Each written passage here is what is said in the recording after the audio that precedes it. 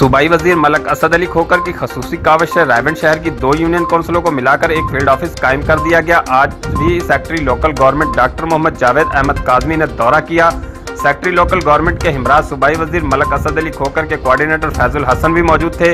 इस मौके पर सेक्रेटरी लोकल गवर्नमेंट ने हेड ऑफ़िस के अहाते में पौधा लगाया। दूसरी जानब सूबाई, वज़ीर मलक असद अली खोकर के कोऑर्डिनेटर फैजुल हसन का कहना था कि रायवंड के शहरियों को तमाम तर सहूलियात इस फ़ील्ड ऑफ़िस के एक छत तले मैसर होंगी, जहाँ पर शहरी कंप्यूटराइज निकाहनामा बर्थ सर्टिफिकेट दीगर मामला के लिए रजू कर सकेंगे।